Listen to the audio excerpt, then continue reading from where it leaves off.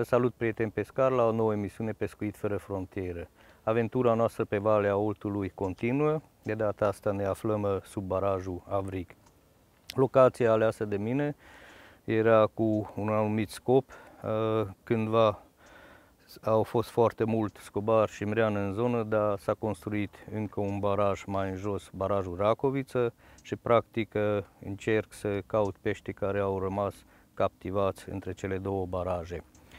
Localizarea e foarte importantă la fiecare partidă, tot timpul pun accentul pe el. De data asta nu mă uit unde sare peștele, apa este foarte caldă, peste 25 de grade, că suntem în perioadă caniculară. Normal că ăsta e un loc, o zonă unde e un repeziș, unde e șuvoi și apa este mai oxigenată, teoretic. Scobarul și beană trebuie să se adune aici, în zonă unde este încă curent între cele două baraje. Tehnica aleasă de mine, bineînțeles că e tehnica feeder. Cum vedeți, curentul e foarte mare. O să folosesc uh, coșulețe peste 100 de gramă, deci practic o să fie un pescuit heavy feeder. Momeala o să fie, bineînțeles, viermușii. Nada o să vă prezint imediat moruna scobaru cu parmezan și cu puțin aditiv de parmezan. Nu e mare lucru, dar trebuie să practic un pescuit foarte intens, trebuie să fiu atent la anumite detalii, mai ales uh, cum nădesc la început și cum întrețină cu vierm colați peștii, de exemplu că aici nu sunt pietre mari, sunt uh, pietricele mici, plin cu scoici, trebuie să folosesc și forface fluorocarbon ca să nu mi se taie înaintașul, inclusiv și linia principală. O să vă prezint și montura și, cum am zis, trebuie să fiu foarte atent la fiecare detaliu, de asta pe parcursul emisiunii sau când prepar nada o să zic de ce și pentru ce fac anumite lucruri ca să uh, dea rezultate pescuitul unde e curentul așa mare. Haideți să vă prezint și rețeta de nadă ce folosesc azi. O să folosesc mărunaș scobar culoarea roșiatică 3 kg,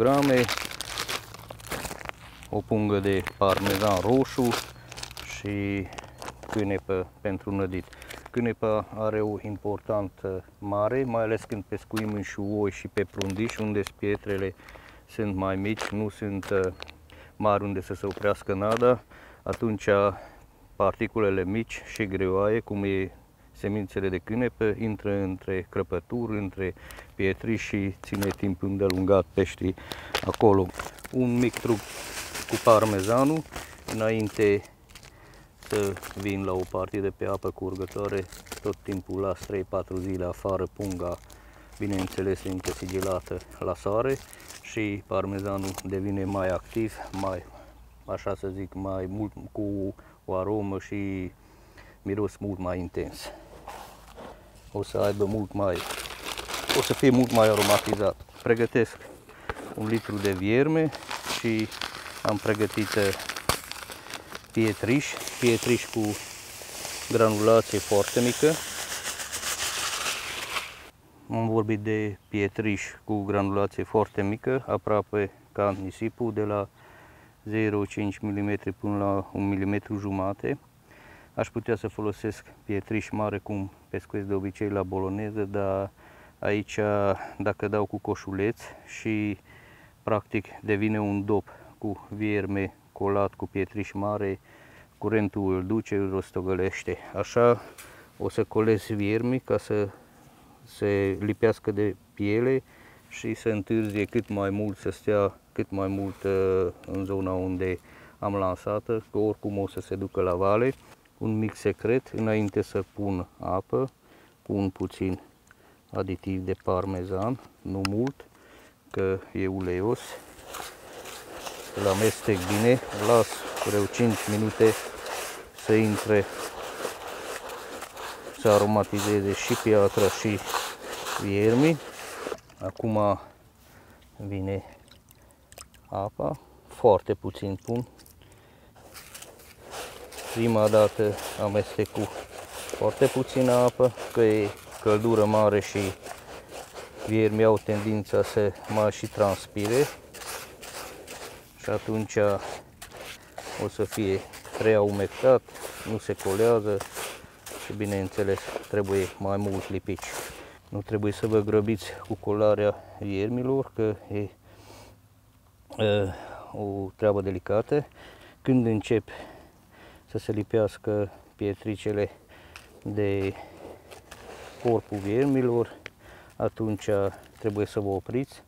Trebuie să știți că încă colantul lucrează și are efect încă 10 minute, deci ca să ajungă la consistență finală trebuie să lăsați, că acum la prima vedere nu-ți bun viermi și uh, omul greșește aici de obicei, pune încă apă și deja e un cerc vicios, trebuie pus mai mult colant, dar dacă lăsați 10 minute, garantez că o să iasă exact cum trebuie. Uh, viermele colat, când ajunge pe substrat, trebuie să se și desfacă, să se desfacă, să intre între pietricele, că dacă colezi mai tare, atunci rămâne un bulgăraș, un dop, ia curentul și se duc peștii. Deci tot timpul trebuie să verificați consistența viermilor cu nada, nu e așa mare problemă. Dacă cumva greșiți și peștii încep să sar mai în aval, înseamnă că viermii s-au dus, atunci o să vedeți că și eu din mers o să mă folosesc să pun jumătate nadă și un dop de vierme colat, atunci o să fac să se întârzie mult mai mult desfacerea viermilor și încerc să trag uh, în sus peștii de pe vat, că peștele în apă curgătoare tot timpul caută de sursa de nadă, de unde vine nada și începe să urce în sus.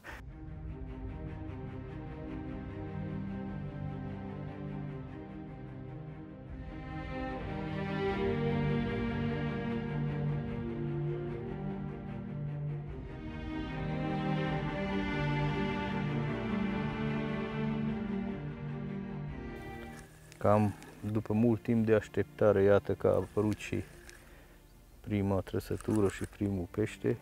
Hai, scobar! Scobar!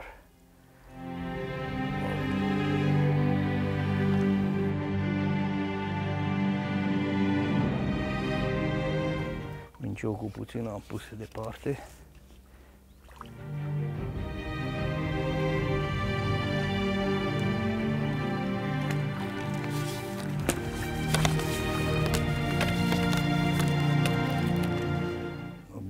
Că teoria mea am reușit să pun și practică.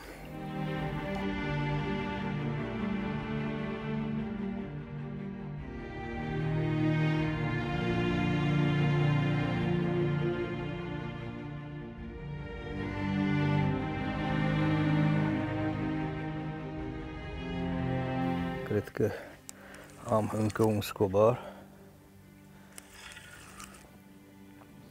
Am schimbat distanța, m-am dus și mai în larg.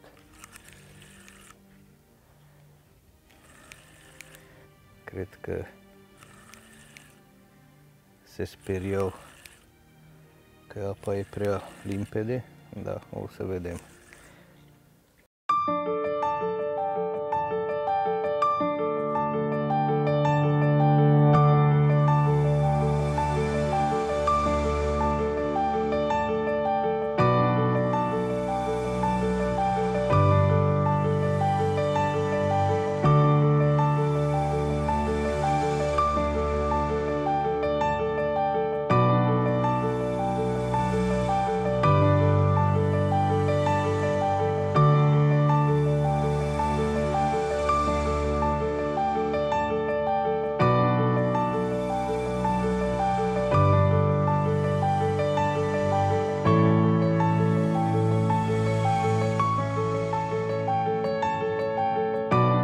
căzut în apă imediat.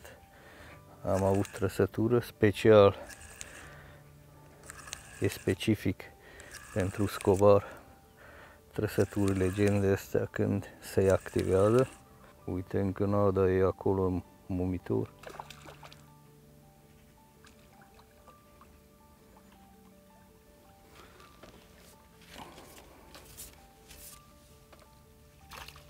Gata!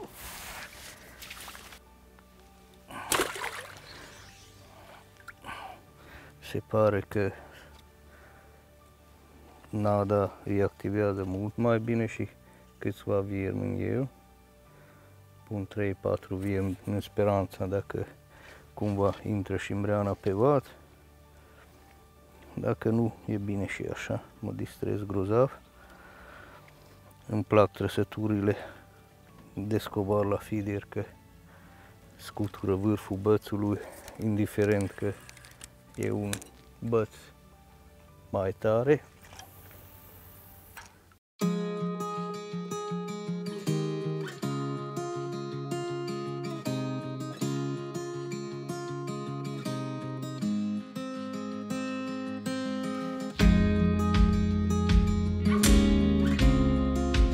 Iar imediat ce a picat în apă am avut prezentare.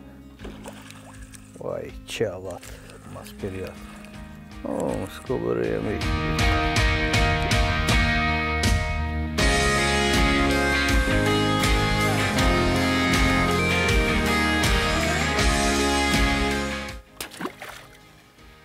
Se pare că deja identifică sunetul coșulețului cum pică în apă cu mâncare și practic când pică coșulețul sare acolo dacă e în apropiere să apuce ceva din mâncare.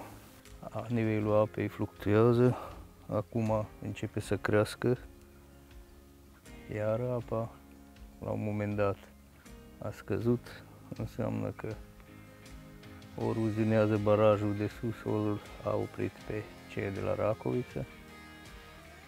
Dar nu se pune problema că în ce mai rău caz pun un coșuleț cu piciorul și mai mare. Are un avantaj foarte mare.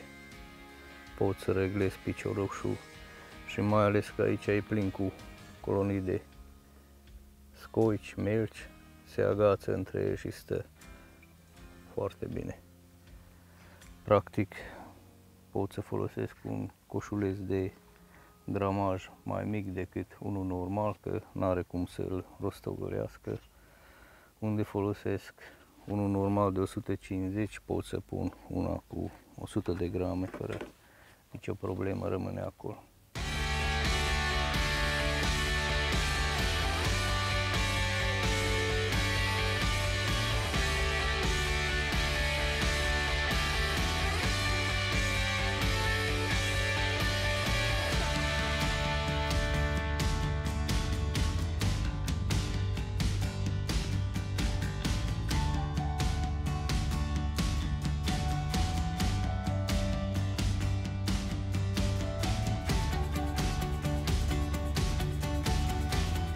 Încerc să aduc la marginea curentului pești că dacă forțeză în bad, de multe ori atinge scocile și pur și simplu îmi taie forfacul. După înțepare puțin țin întins firul încordat și pur și simplu ei vin lângă ma. Mrenuță mică.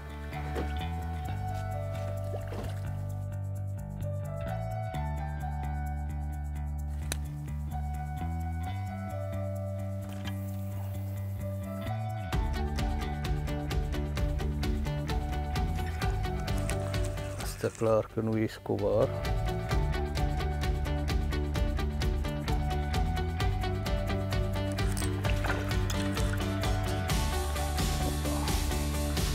începe să crească talia renuțelor.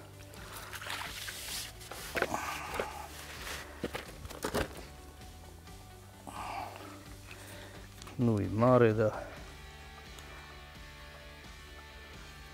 a luptat extraordinar de bine.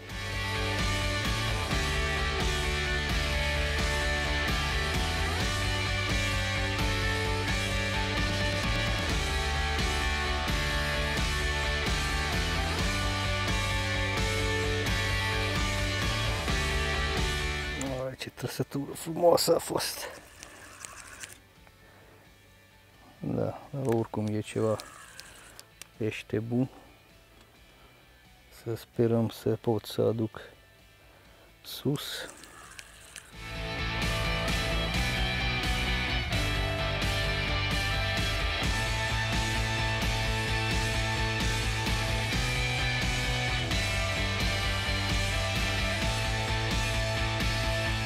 Pare că au venit mrenuțele pe vat. Mai din când în când luăm și un scobar dintre ei.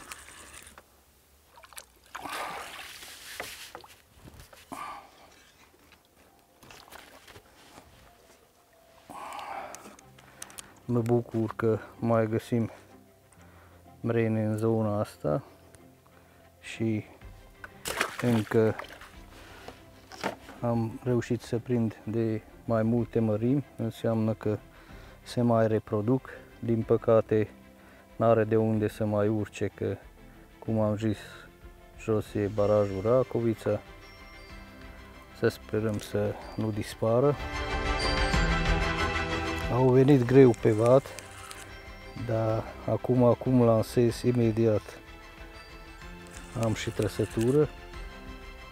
Nici nu a coborât bine coșulețul, deja lua băsul de lângă mine.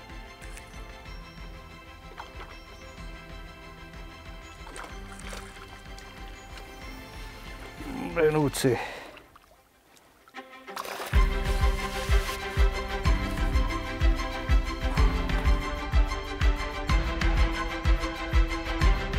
Ai, ce trăsătură violentă.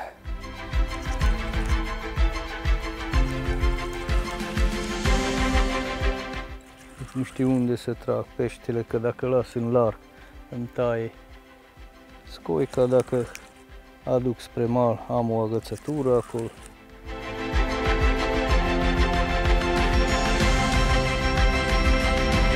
Stau maxim 5 minute, după ce au trecut 5 minute relansez, e curentul foarte mare, spală nada, tot trebuie, timpul trebuie să țin activ vadul, adică să țin peștii în apropiere.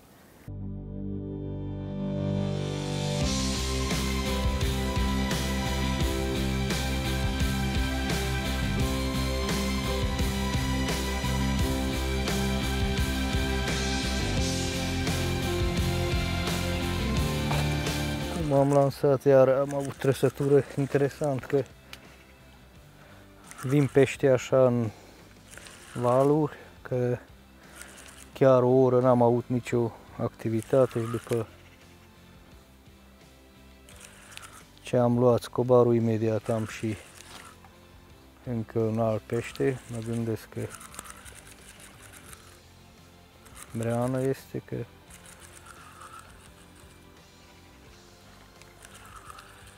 dar nu pot să zic nimic. A, mrenuță.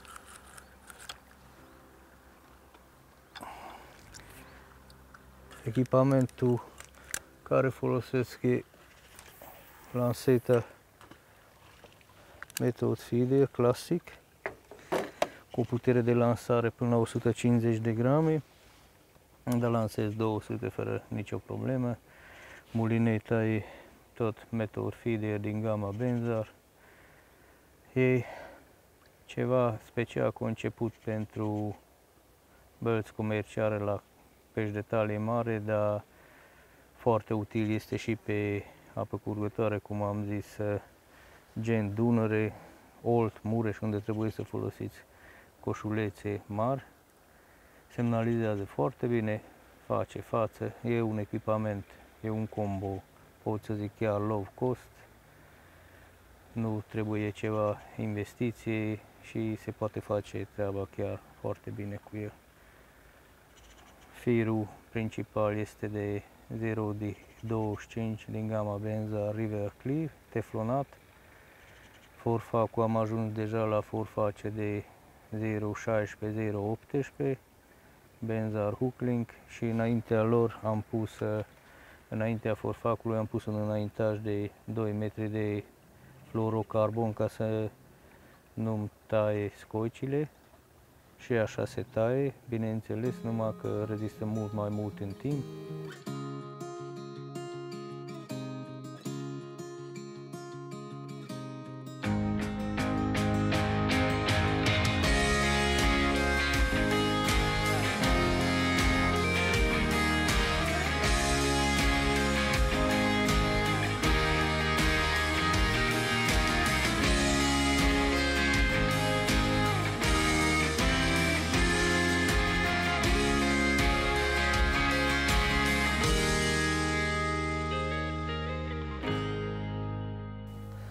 Timpul acordat emisiunii noastre încet a sfârșit. Cu acest pește o să iau rămas bun de la dumneavoastră. Până să un drill, hai să tragem concluziile despre partida de azi. Ce am observat? Cel mai important lucru era momeala de pe cârlic, trei pinchi roșii cu un vierme alb, a dat randament. Viermele colat nu a fost așa la înălțime cum mă așteptam. Din când în când tot puneam în, în coșuleț, dar cel mai bine era uh, nadă multă cu pinchi și viermi în el. Uite ce melenuță frumoasă! N-am reușit să prind pește mare, dar ce mi-am propus să prind scobar și mreană mai jos de barajul Avric am reușit. Am demonstrat și cu un echipament care nu costă o căruță de bani, se poate face treabă. Chiar e indicat să pescuiești cu lansetă cu gramaj mai mare, unde e curentul mare neapărat trebuie folosit coșulețe River Cage care se opresc în scoici, în pietriș și în același loc se descarcă coșulețul. Cum vedeți, curentul toată ziua a fost foarte mare și dacă nu pescuiesc exact în aceeași linie, atunci nici nu am avut trăsături. Ultimele pești am reușit să prind că puneam jumătate vierme colat și peste el un capac de nadă foarte colant.